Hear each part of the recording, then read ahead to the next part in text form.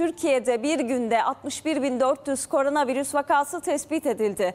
Günlük ölüm sayısında da sert bir artış var. 297 kişi hayatını kaybetti. Sağlık Bakanı Fahrettin Koca bir kez daha aşının önemine dikkat çekti.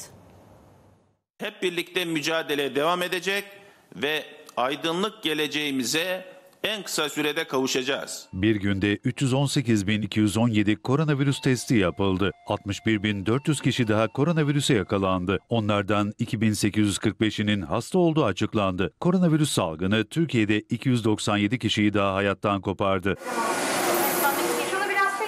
Sağlık Bakanlığı günlük koronavirüs tablosunu paylaştı. Toplam vaka sayısı 4 milyon 86 bin 957'ye çıktı. Toplam vefat sayısı ise 35 bin 31'e yükseldi. Virüsün kendisi de mutasyona uğramış halleri de aynı şekilde yayılıyor ve korunma yöntemleri de aynı.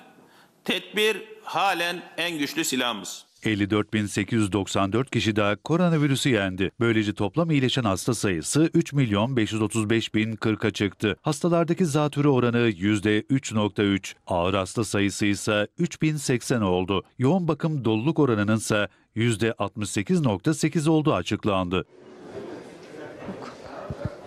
Ayrıca Sağlık Bakanı Fahrettin Koca, son iki günde açılan aşı kapasitesinin çok az bir bölümüne randevu alındığını açıkladı. Hastanelerde gece saat 24'e kadar aşı randevusu verildiğini vurguladı. Gündüz vakit bulamayanlar için iftardan sonra aşı olma imkanı var. En önemli silahımız aşı.